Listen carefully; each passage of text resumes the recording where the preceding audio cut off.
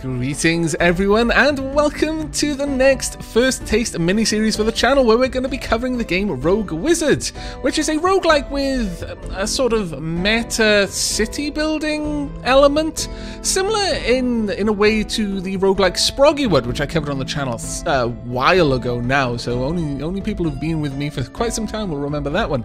But this one is developed by Spellbind Studios and published by the same, and we're going to jump straight in. Now, I've had a, a, chance to play the game for about an hour. It meant to be 10 minutes, but uh, I looked down and all of a sudden an hour had passed instead of 10 minutes.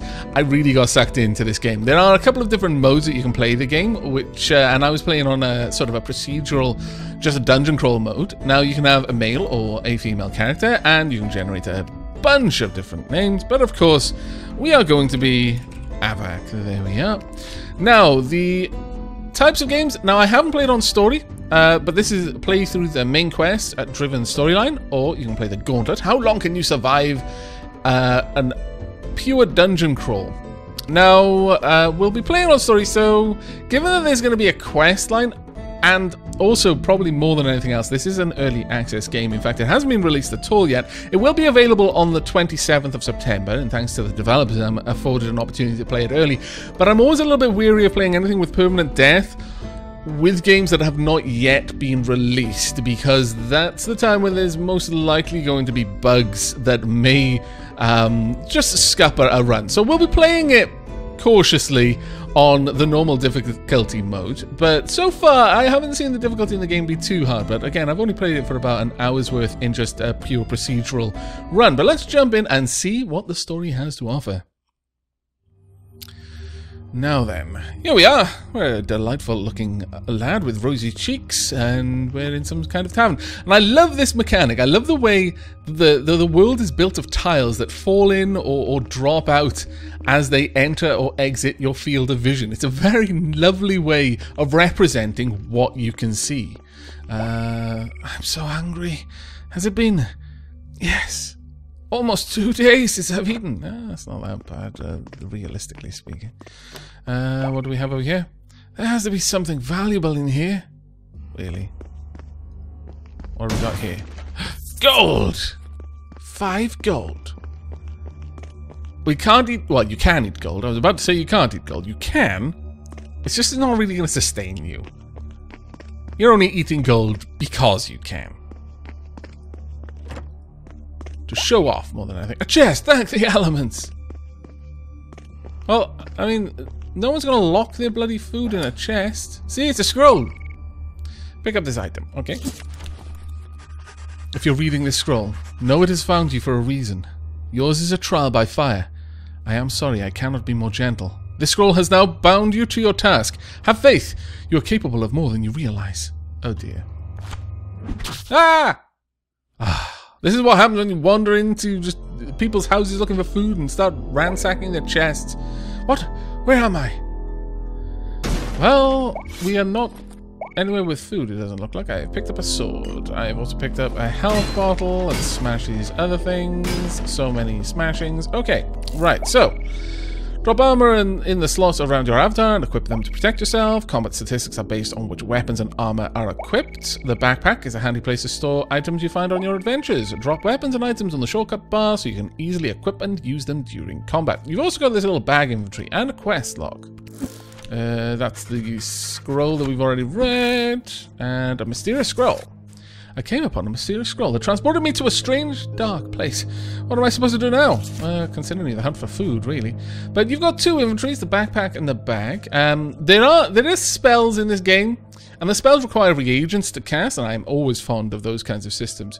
Um, rather than just like a mana bar, you you know, a pinch of of stardust and, and lizard's tongue or whatever you want. This game doesn't have things like that, but uh, it, it's it's esoteric kind of ingredients. Uh, but I liked putting them in the bag just to keep them out of my main inventory, which was for gear I found. Um, got 20 damage, no defense, which is bad, and only 31 health. These are our attributes, and rather than having like strength to uh, affect your melee attacks and dexterity to affect your range attacks, you just got power, and provides damage from items and magic across all damage types. Uh, finesse increases the chance of blocking critical hits, disarming traps, and detecting secrets. And stamina increases health and ability to absorb damage. Oh, that's very nice indeed. The spell book, here we are. I have no spells as yet. I have some potions, and I would like my potions on the far side there. Okay, alright, it is time to move on. Alright, let's go through the door. And we have found a skeleton. These swords indicate combat mode. During combat mode, actions are one at a time. You can skip your turn by pressing the pass turn button and switch active weapons on the hotbar. Now, be aware that for all intents and purposes, the game is always turn-based. It's just that when there's no one to take a turn against you, that is, there's no enemies around, then you can just do everything. You can move from here to over there and your character will plot the path. But the moment it's here, then I have to take one step at a time. The, the enemy will do the same. Uh, I can't kill you in one hit. Drat! I have to take some damage then. Okay, pick up some gold and another barrel. Now, as far as I'm aware, certainly in the the main, uh, sorry, in the like dungeon crawl mode, it's all. Oh wow, nice critical. It's all procedural, but I'm not sure if it's always procedural here, or whether the the quests have um, dungeons that are um, either partially procedural, or they they are very specifically built by a level designer cloth boots. I am always in the market for a little bit of extra health and not so happy about all of you. I'm going to move back one. And again. Uh, no, only one then. I just want to try and force it so that I'm only dealing with one at a time. I probably don't need to be this quite this cautious at the moment, but, uh, well, I don't like dying, as it happens. Ow. Right, now it's just you and me. I'm going to let you walk up to me so you use your turn and I get the first attack. There we go, rather than letting you get two. Now, the keys allow me to unlock chests, and it is important to unlock chests, not just for the loot. One thing I learned from the uh, pure dungeon crawl is on every level, if you kill all of the enemies, you get a bonus uh, to your EXP, and if you open all of the chests, similarly, you get a bonus to your EXP. And we've got a cap now that offers us 4 defense, we've still got a key that we can use on this chest over here. There we are. All treasure opened, plus 280 XP. That's very nice. This is uh, quite a simple dungeon so far, if that's all of the treasure. Hello? Hello, who are you? I'm Palom, and I've been waiting for you. took you long enough to get here. What, you know who I am? Not specifically, but I know a magical scroll brought you here because we need you. Who's we? No time for questions. We need to fight our way back to the portal. You'll learn more when we're safe. I can have followers? Oh, that's something I didn't see in the uh, procedural dungeon. That's amazing. Now, I am actually going to explore the rest of this place because we haven't killed all the enemies. I know that because we didn't get the... What on earth is that? We didn't get the bonus for it. My lord, that was amazing. I approve. Ah, oh, I don't approve of you just getting beat up. I was hoping that they would split up a little bit. Now, it takes a turn to swap weapons and the likes, and that's what he just did. Well done there. Let them approach. And there we go. All enemies killed. Hooray! I will take that tunic. Hunter's tunic. Okay, we're getting a little bit of defense now. I'm not sure how the defense stat affects incoming damage. But obviously, the higher the stat, the better, I would imagine, anyway. Let's descend. Okay, switching weapons or drinking potions uses up a turn in combat. Yes. What the dickens? Uh. Oh, sweet! I love crab! No eat! No eat! Don't worry, little fella. I'm not here to eat you. Come with me. This place is dangerous. We found talking ice crab. Okay. How how bizarre. I'm I'm surprised I'm not trying to eat him though. I'll I'll be honest because I haven't eaten in two days. What's this? Spell acquired. Fireball. Your spellbook holds all the spells you've learned. Drag and drop the spells onto your shortcut bar so you can quickly equip them and cast them during combat. Oh, okay, I quite like that. Uh, though, actually, I would prefer it elsewhere on my... Uh, uh, I'd like a my primary melee, my primary range, then my spells, and then any other weapons or items that I might use. Okay, it is rank 1 currently. It does 35 fire damage, which is more than my uh, sword does, which I believe only does 20 damage. Yes. Now, ooh. Hello there. You're a weak skeleton lord. Why do I not feel comforted with the fact that you're a weak one? Only defense one. Uh, oh, I guess that's still better than nothing. Uh, sure, I'll use my magic spell. Kapow! Did you see that? I just used magic. Yes. I thought only Ilum could use magic. I'm Banlit. I guess these are uh, races? If you didn't have powerful abilities, that scroll wouldn't have bound you. Bound? I, I don't like the sound of that. No, I don't either, actually. Now, I am using reagents for that. It seems this requires two Crimson Ash. I'm going to pop my reagents in this bag just to keep them uh, separate, but it lets me know how many I can cast. But that will uh, get better as I collect more. Little scurrying, skittering sound of my crab companion there. Ooh. Thank you. Now you do have like a, a fairly generous range for picking items up from. Ah, nice work, little crab. I will also take this hat, and now I'll compare this hat to my hat. They are equivalent. That is boring. Hello? No, my crap! How dare you? That chakram is amazing. Please stop hitting my crab. I dislike it. It's a snow crab. I wonder what I'll call you. I wonder if I can name you. I hope I can. I would like to name you Aira. Thank you. There we go. Oh dear. Oh dear. I don't like being in the lead right now. Right, you need to be dead straight away. Can I shoot through other people? Yes, I can. Fantastic. Okay, I don't like being in the lead again. Okay, level 2 achieved. Let's find out what we can do. Increase your activities when you gain a level. Alright. Uh, hmm, I would like two in stamina and two in finesse, please. I'd like to be able to see secrets. Right, I'm going to swap to my sword at this point. And chop. What? My snow crab can freeze things. That is amazing. I also now have a shield. I also now have boots. I also now have a bow. Uh, these boots, these are better boots. Seven, but they require more stamina to wear. Now, Blazing Hunter's Bow. Ignite on, on hit chance is 5. Damage is 22. Requires 4 finesse. Okay, that's cool. Class is bows. Now, one thing to note. You'll note the rank, 1 of 4, and use mastery 11% to the next rank. You can just pick up caps of different ranks. So, for example, I've got two common caps of rank 1. They're equivalent. I could have picked up a, a, common cap of rank 3 if I was particularly lucky, and that would have been better in some way.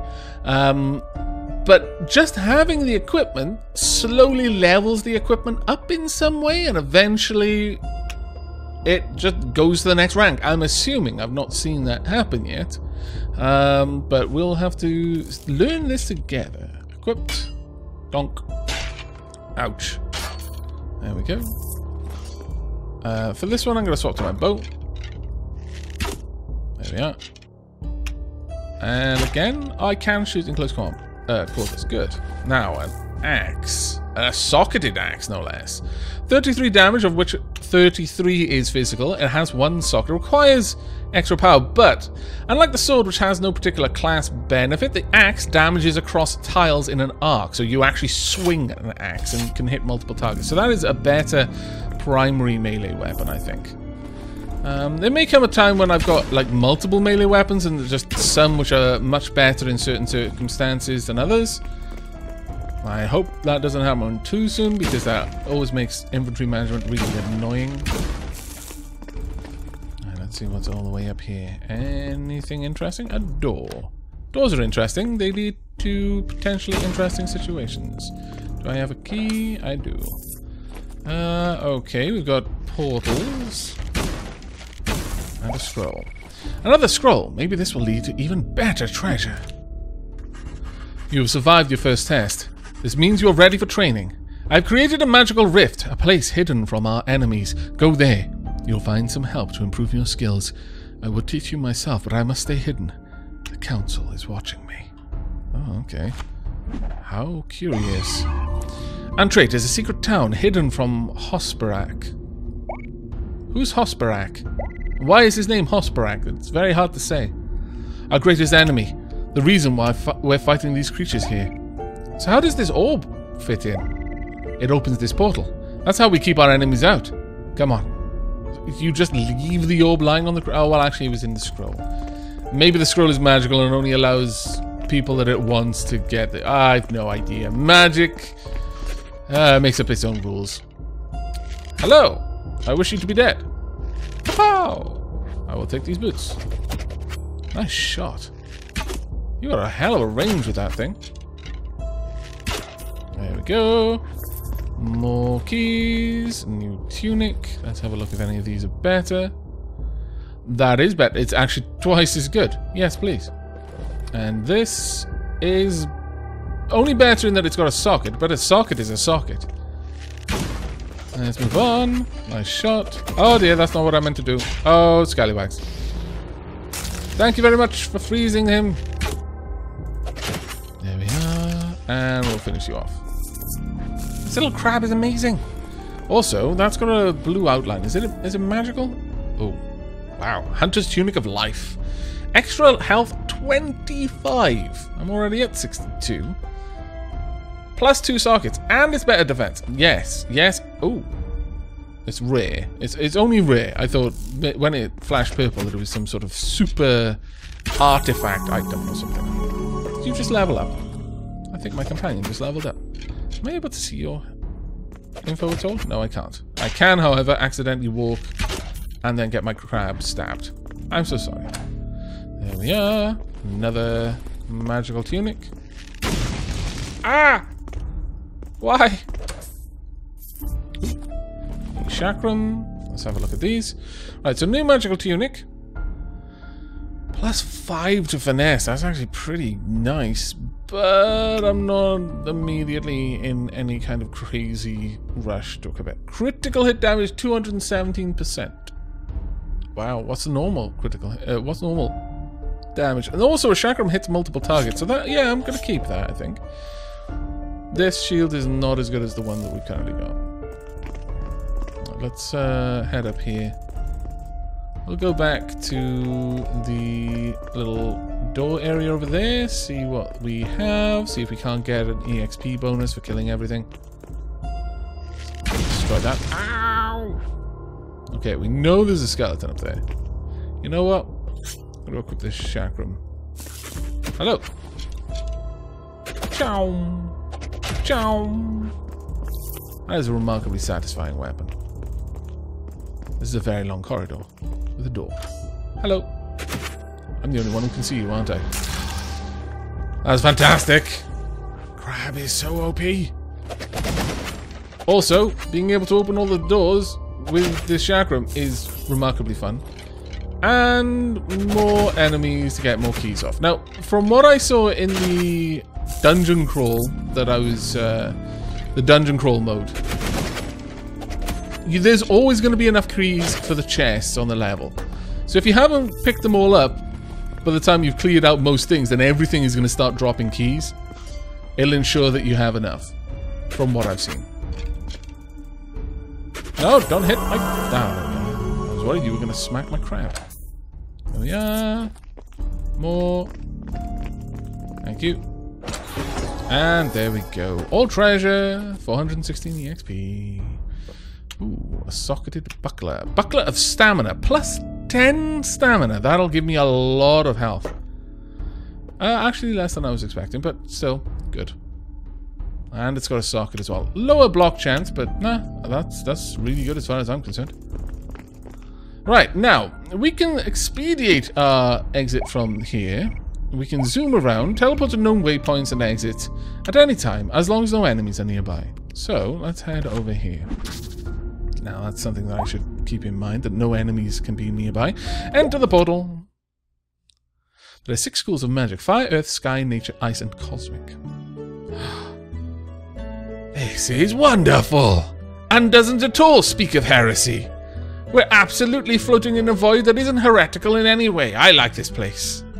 It actually has nice music as well. And, you know, you know you're in a good place when it has waterfalls that just kind of drain off to nothingness but the water never runs out. Ah, so beautiful. I'm, I'm guessing I need to go to the place marked quests. Ah, this is fantastic. Merrill. Now where am I? Where's Palom? Who are you?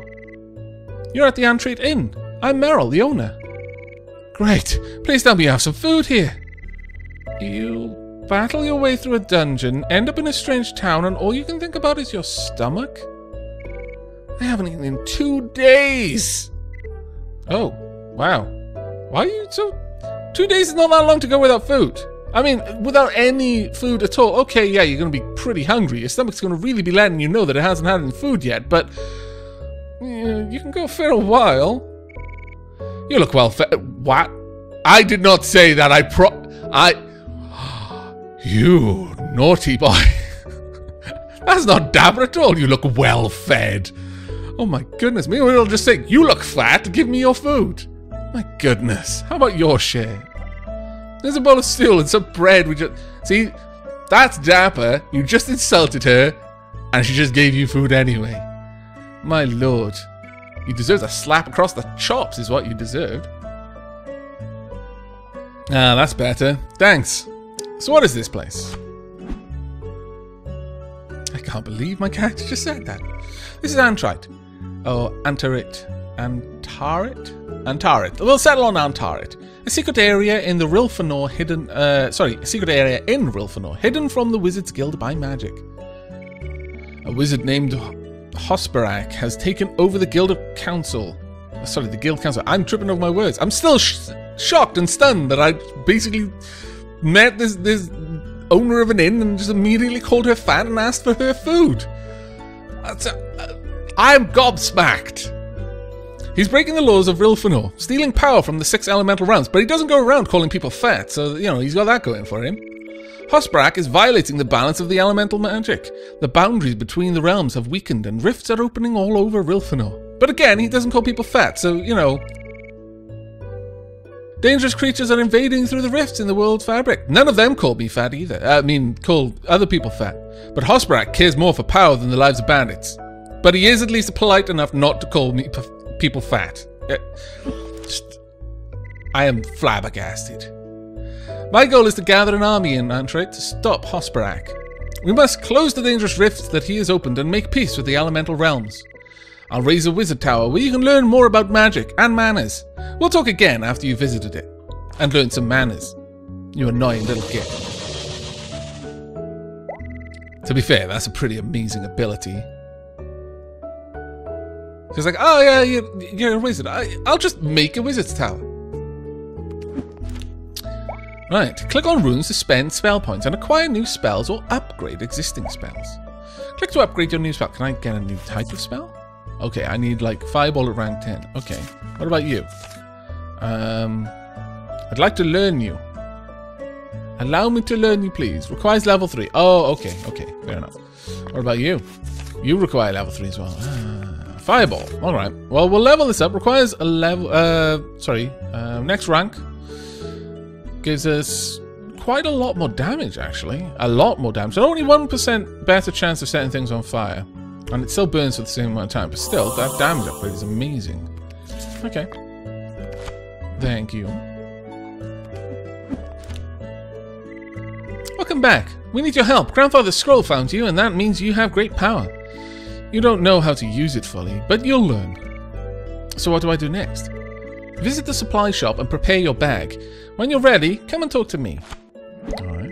Click the supply depot to open up the shop and sell unwanted gear. Hooray! This is vendor. And these are the items they have for sale. Buy and sell items using drag and drop or right click. Uh, farewell. Let's... Have we got any good boots? No. Uh, actually, all of these are the boots that I don't want. And none of these bucklers are better than the one I'm currently using. This is not, this is not. What about you? Hunter's Tunic of Dexterity. Yeah, I kind of really like the extra health. I'll be honest. And I don't really need that sword. Alright. Um, I can I can just buy keys. That's kind of useful. I'm not sure I want to, but yeah, it's useful. Okay. Is that it? Yes, it is. Okay, very well. Doink. Oh, apparently I can talk to someone here. Greetings, I'm Alnar, trader in general supplies. Are you Banlit like me? No, I'm Elam, a friend of Meryl and her grandfather. The danger of Hosperak will affect us all, and my fellow Elam are fooling themselves if they don't see it. I'm interested in knowing what the what's this deal with the Elam and Banlit. We've got something there.